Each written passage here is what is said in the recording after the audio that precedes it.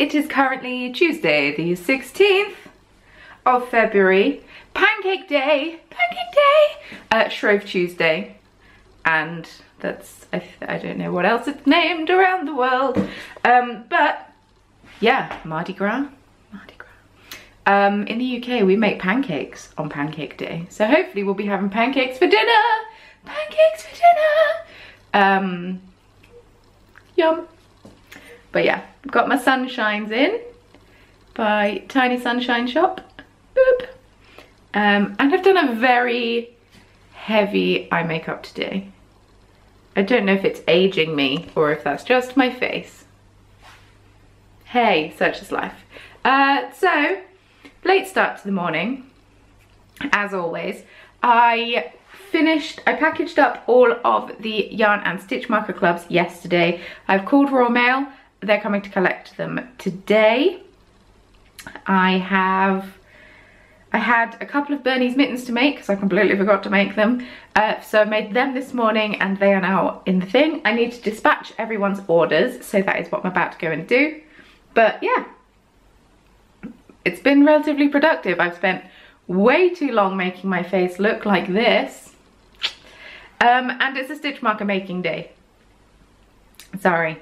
Um, I will try and do a yarn dyeing day on Thursday just to mix it up a bit, spice it up a bit and make vlogs somewhat more um, interesting. But yeah, today it's a stitch marker day, so I'm just recovering this mushroom broth that Mario made. We had ramen yesterday, it was very tasty. Um, yes. Yeah, sorry the vlog went up so uh, so late yesterday. I was packaging up all of the yarn and stitch marker clubs and you know that I don't like packaging so I was trying to not give myself an excuse to not package so I didn't give myself an excuse to not package which meant I didn't edit in time. But yes let's go make some stuff. Orders are all dispatched.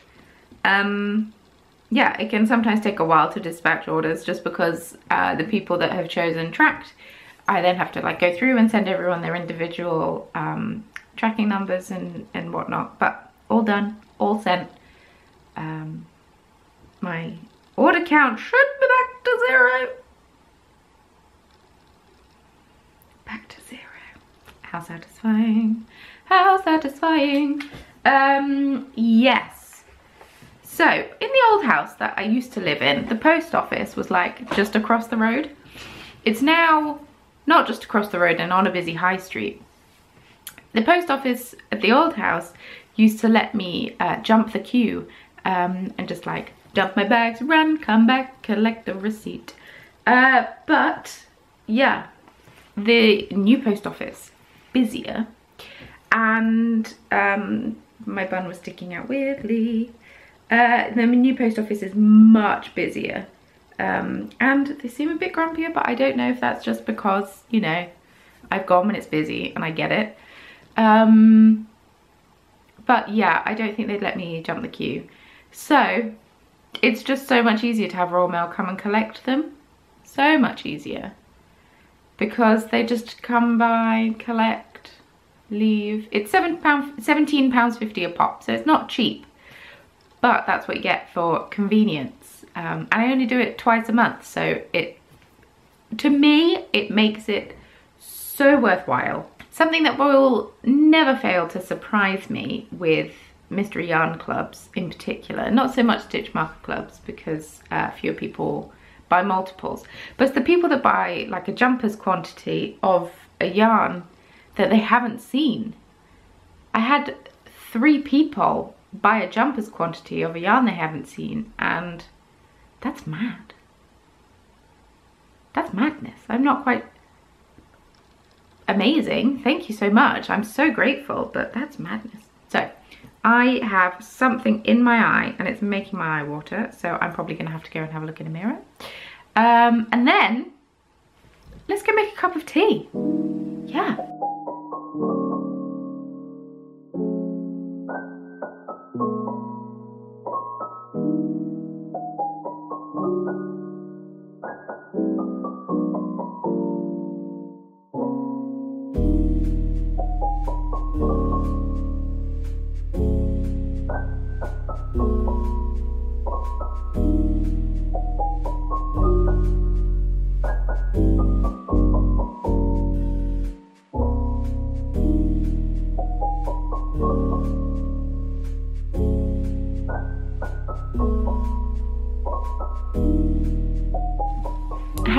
In my eye. I think it's come out. I don't know. I could just have a watery eye now, which is really annoying because my makeup looks alright today. Although on camera it looks really patchy. In person it's really nicely blended, but hmm. Should be doing my makeup to camera standards, not in person standards. Come on. Right, so tea is made. Um, yeah, it's one of their pancake day teas and I will say it is delicious. Uh, the blanket's on because I'm cold, even though today it's meant to be warmer than it has been. Um, some of you may know that I've had a bit of a sore back uh, recently. I didn't know what it was and I still don't really know what it is, but we've switched out our mattress for a firm mattress because um, we were still within our 100 days of receiving the last mattress. And because it's got memory foam topper, uh, it's a bit stinky. So, I mean, apparently it's just very, it is very normal for a new memory foam mattress to be a little stinky. Uh, so windows are open in the bedroom, uh, but that does mean it's cold down here. I decided I'm going to make some more mini eggs, some more Easter chicks, and some more mushrooms, judging by the feedback that I got on the last video. Um, yeah, you all seem to like them. So the goal for today, even though it's already 20 to 12, is to try to make 20 stitch markers um, yeah, that's the goal because I don't have many for the shop update yet. So need to try and fix that because it's coming up. It's coming up quickly. Um, something I spoke to Mario about yesterday that I haven't really spoken to anyone else about I haven't really spoken to Mario about that that much. Um, but I'm gonna just move this in. I'm just gonna readjust. Let me readjust. We've readjusted. Um, after watching Becky's video on Sunday of her darning her, um, is it safe at home, safe at home slippers? I think that's what it's called. One, I have a hat that needs to be donned.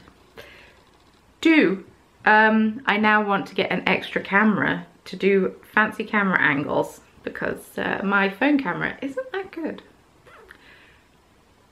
That's it. Those were the two things. But that wasn't what I was going to talk about. Um, so,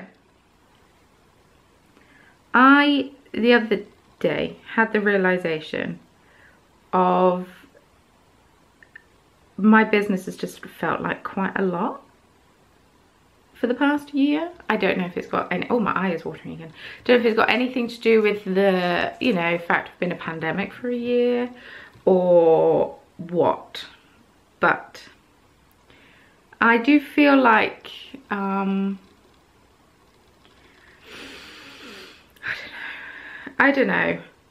I tried to describe it last year as like um, running the wrong way up a, an escalator, but I don't know if that's the correct.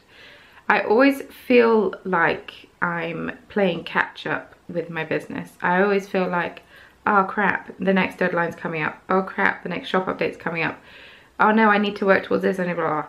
Um, but I mean, I need those deadlines because otherwise nothing would get done. It's really tough.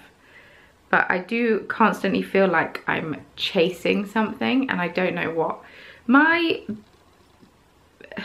I don't want to sound conceited because I don't even know if that's the right word. I am so grateful for the business that I've got and I'm so grateful for how successful it is. I never in a million years, when I set up the Corner of Craft seven years ago, I had no idea what my business would, be, eight years ago, I had no idea, seven and a half years ago, I had no idea what my business would be. I had no idea what would come of it. I had no idea how successful it would be. I didn't know what I would sell. Um, no clue at all. So the fact that I'm able to bead weave things and sell them as my full-time income is madness. I've expressed this many times before. Um, in my last shop update that wasn't a club update, I showed how grateful and overwhelmed I get on shop update days. But my goal for 2020 was to earn a certain amount each month consistently because my earnings the year before had been a little up and down, a little inconsistent. And I wanted, you know, the consistency of earning a certain amount there. Q March, I tripled that goal, that monthly goal that I'd set. Um, I had an incredibly successful uh, virtual yarn show that I did, which was baffling. And um, I also sold my advent calendar, the first batch of advent calendars. I had no idea how they'd sell. Sold out, which was madness. Um, so I thought, okay, cool. Well, that was a shock, but it's fine. That was just a fluke because of the advent calendars, blah, blah, blah. Um, people are wanting to support people, people are stressed out, so they're, you know, soothing themselves through buying stuff. It's fantastic, it's great. The next few months that followed, whilst I didn't quadruple the goal that I'd set for myself, thank God, um, I did surpass it each month. I had a couple of quiet months um, because I was getting closer and closer to the VAT bracket and I haven't decided if I want to delve into the realm of VAT or not. Because um, well it seems very scary. It's very unknown. I'd have to hire an accountant. It's not something I can do myself. And the VAT threshold most businesses you can't just meet the threshold and then just like you have to kind of go, go way past it. You need to just soar past the threshold because um, if you're if you're just over the threshold, you end up with less money than you had before your beforehand because you're paying more tax. Um, yeah. So I need to decide what I want to do. Do I want to try to soar past the VAT threshold? Or do I just want to stay under the VAT threshold, trying to keep my business at a comfortable level for me, which doesn't cause me a lot of stress? Because of course, if I then go over the VAT threshold, I would have to like up everything. At the same time, staying under the VAT threshold means that I'm not potentially not reaching my business's full potential.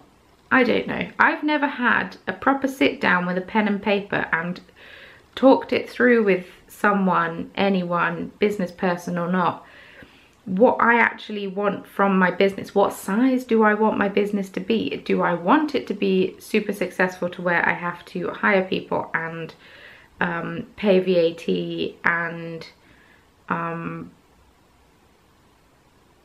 increase production and all of that.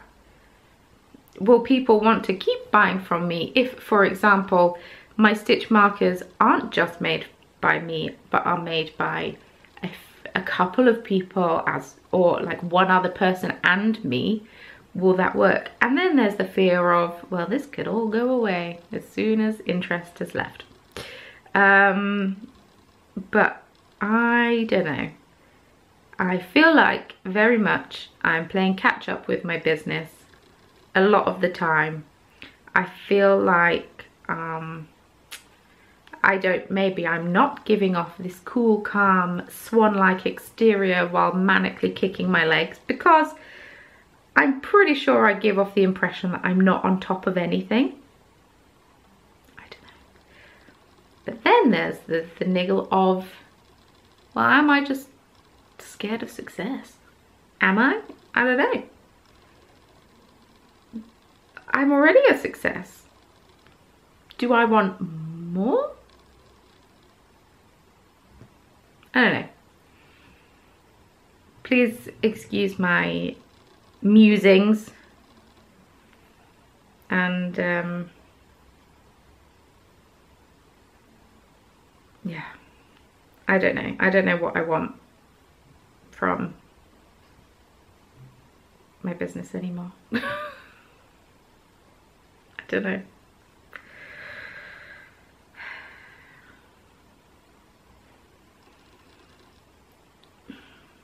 I thought stuff would calm down again this month, but then last month showed me, nope. So, yeah. I don't know. I'm in shock that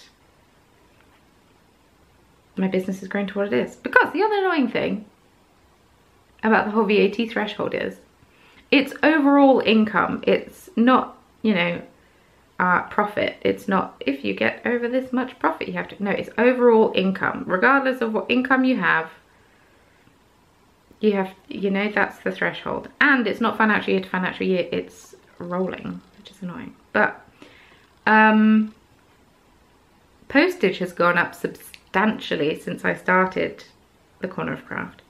So a lot of my income, not a lot, but like a chunk of my income, a good chunk, is, um, oh I thought it was a Royal Mail, not Parcelforce, um, is postage, but that doesn't matter. The tea is absolutely delicious.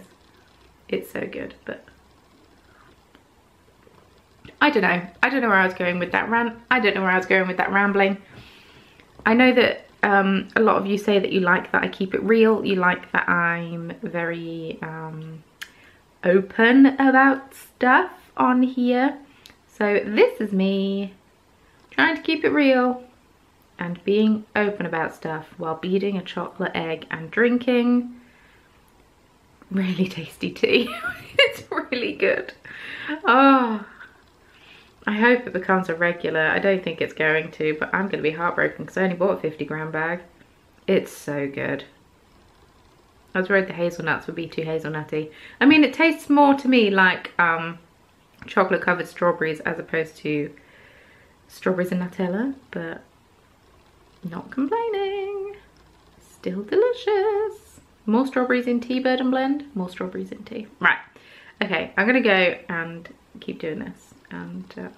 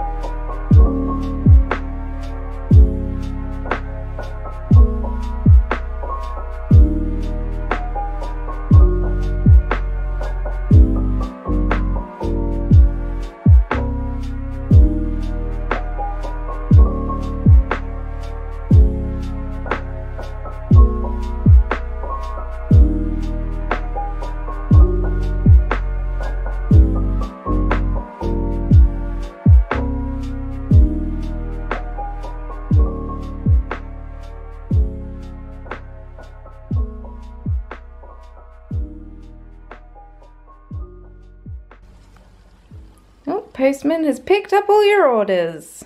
Yeah. Came so much later today than usual, not a complaint.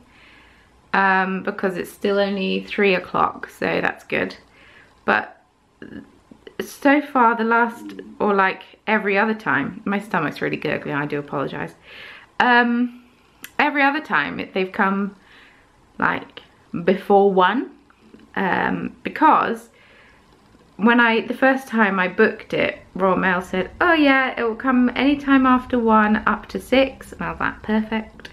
So I went out for a bit of a jaunt and then came back before one. I was like, how weird, they didn't turn up. Um, but yeah, turns out they had been. But I was out, so then I had to call up and then they came the next day. Uh, so now I know to wait in. But yeah, three o'clock. Seemed like a very friendly chap. He was like, oh, you've been busy. I'm like, I have been, thank you.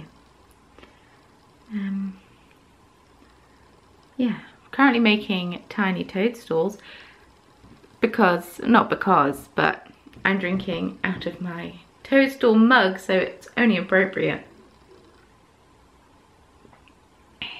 There's only tea number two of the day, um, which is, you know, pretty, pretty, you know, you know, don't know what I'm saying. Usually I have way more tea than this, is what I was trying to say. Yeah, all I've been doing is bead weaving all day. It's not the most exciting, um, I realise.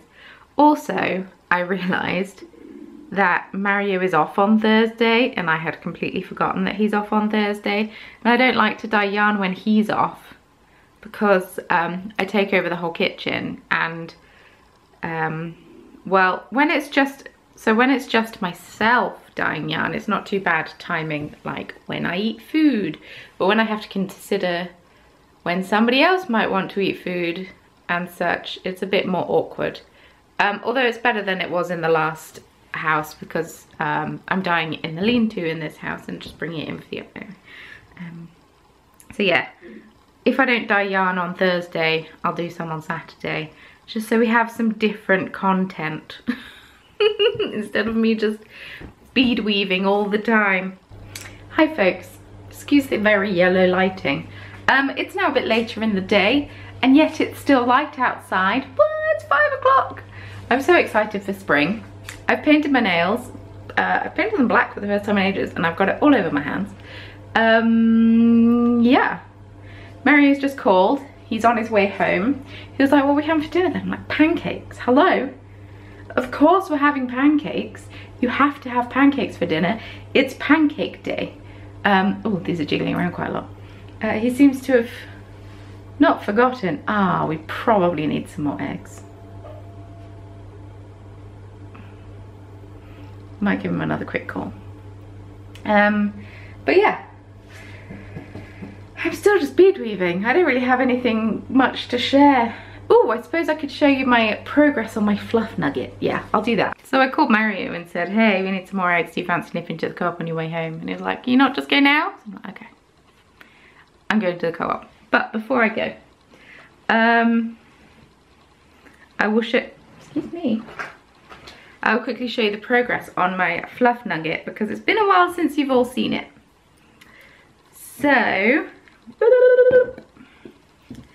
I have a body. So this is the Berlin cardigan. Uh, it's a pattern that I am test knitting for Becky Sorensen. It's not out yet. Um, it's coming out March, I believe. But I have a body. It's all joined. It's all joined and I am on to the sleeve, which I'm very excited about. Um, yeah. Tell you what, doing brioche on Magic Loop is kind of awkward, but I'm kind of into the swing of things now. So, yeah, I'm very excited. And a lot of people have finished theirs, which is always cool. And something that I really like about Becky's patterns is that when I see how it fits on her, that's how it's going to fit on me because of how she like scales up her patterns. She makes sure it fits the same on everyone and that it's all proportionately correct, um, which I didn't know how important that was until I spoke to her about it um, because I'm ignorant about things, but yeah, So I have a neckband to do and I have two sleeves to do because I'm only a tiny fraction in. But I will not be doing any of that right this second because I need to go to the co-op really quickly and pick up some eggs and maybe some plain flour and see if there's anything else that I want to have on my pancakes. Always carry a brolly, always carry a brolly. Started to rain, but um, I've always enjoyed going out for a walk, like when the light is like this. In the summer it tends to be a bit later. Um, yeah, used to go out for a walk quite a lot when Mario was off, uh, when Mario had gone to bed, so I really enjoyed it and I miss it. Because uh, I can't do it in the winter because it's dark and I don't want to go walking when it's dark, but I'm excited to explore the new places I can go to once it's, uh, once it's a bit lighter. eggs and flour has been procured. Of course, as I left, I saw that they had some reduced for quick sale eggs. Eh, but hey, whatever. Um, yeah. So hopefully we're gonna have pancakes for dinner because I, Mario and I went to Estonia a few years ago now. And um, in Tallinn they have a really good, uh, oh it's my glasses, they're dirty, had a really good uh, pancake restaurant called Kompressor. And my goodness, they were such good pancakes. I had, we went twice, but the only one that I can seem to remember off the top of my head, I had one with beef mince and cheese in, and it was really good. They were like English pancakes, which surprised me. Um, because for those that don't know, English pancakes are different to American pancakes, and they're even different to crepes um, in that English pancakes are kind of like crepes, but fatter. I don't know, I don't know, I don't think I've ever made crepes. I don't know what goes into a crepe, but yeah, I've made English pancakes plenty of times. And also, it's the same batter that is a Yorkshire pudding for those, I don't know. I think they're similar to Finnish pancakes. Swedish pancakes are the one that they bake in the oven, which reminded me of um, Yorkshire puddings, but the difference is, from what I can remember, Yorkshire puddings, you heat up a load of fat in the oven and then you pour the batter in and then you put it back in the oven and that's what gives it the puff and crisp. But I feel like you don't do that with Swedish pancakes, I think. But we have pancake stuff. That's the important thing.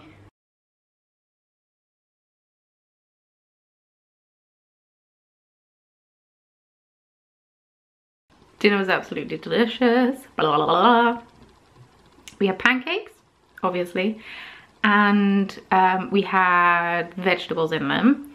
Bit of cheese, bit of leftover steak from Valentine's Day.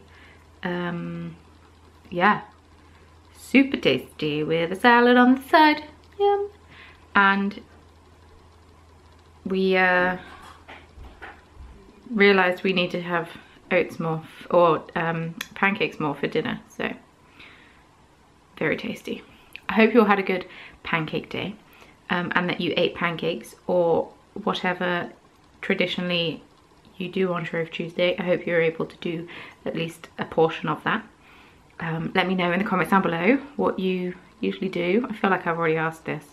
No I haven't. I've asked something else because um, that would be great. But I am just going to wrap up this video here because it's probably plenty long enough. I'm just going to finish off bead weaving what I'm currently working on and then knit on my fluff nugget a bit more. And that will probably be the plans for the evening as Mario has an early night because he has a very early start tomorrow morning. So thank you so, so much for watching. If you enjoyed this video, please feel free to give it a thumbs up. Your support does honestly mean the world to me and if you hated it you can give it a thumbs down. That also helps me out so thank you.